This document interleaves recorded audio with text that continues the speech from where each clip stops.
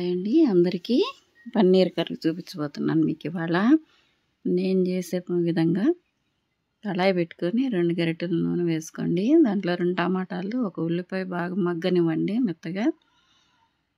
మగ్గనిచ్చేసి ఇప్పుడు మసాలాకు రెడీ చేసుకుందాము. కొబ్బరి అల్లము చిన్నుల్లిపాయలు ధనియాలు అన్నీ వేసుకొని మిక్సీ పట్టుకొని పక్కన పెట్టుకోవాలి. పేస్ట్లా చేసుకొని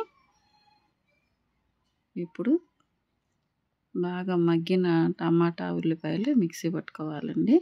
ఇది కూడా పేస్ట్ చేసుకొని పక్కన పెట్టుకోండి. ఇప్పుడు కడాయి పెట్టుకొని బటర్ వేసుకొని పన్నీర్ ముక్కలు వేసుకోండి.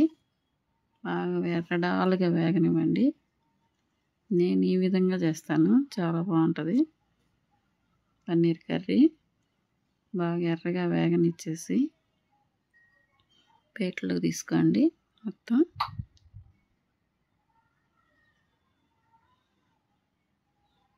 చూడండి. ఇట్లా మొత్తం ప్లేట్లోకి తీసుకున్న తర్వాత.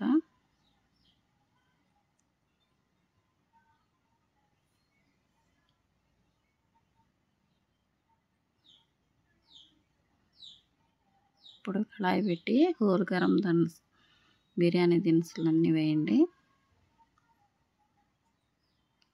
కొంచెం వేగనిచ్చేసి నాలుగైదు పచ్చిమిరపకాయలు వేయండి కట్ చేసి ఇప్పుడు అల్లం చిన్నులపాయ కొబ్బరి పేస్ట్ ఉంది కదా అది వేసి బాగా కలిగి పెట్టండి.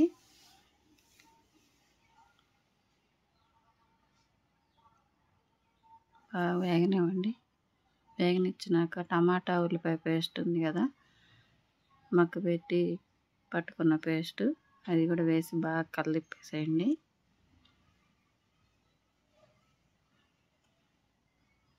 కలిపిన తర్వాత ఇప్పుడు ఒక స్పూన్ పసుపు ఒక స్పూన్ ఉప్పు రెండు స్పూన్లు ఉప్పు రెండు స్పూన్ల కారం వేసి బాగా కలిగిపెట్టండి చూడండి ఇట్లా కలిపి పెట్టిన తర్వాత ఒక్క బంగాళదుంప ఉడకబెట్టి పక్కన పెట్టుకున్నాం అది ఇచ్చి తిని వేయండి. బంగాళదుంప వేస్తే చాలా టేస్టీగా ఉంటుంది. వేసి బాగా కలయి పెట్టి ఇప్పుడు పన్నీర్ ముక్కలు వేయించి పెట్టుకున్నాం కదా పక్కన. అవి వేయండి. వేసి ఇట్లా కలయి పెట్టండి. గ్లాసు వాటర్ పోయండి. పోసి బాగా కలయి పెట్టండి.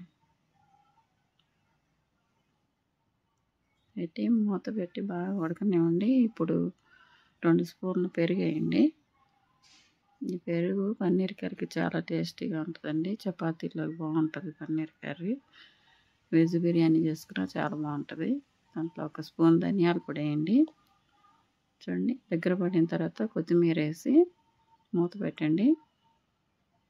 చూడండి నూనె పైకి తేలుతుంది. కూర ఆల్రెడీ రెడీ అయిపోయింది. నచ్చితే లైక్ అండ్ సబ్స్క్రైబ్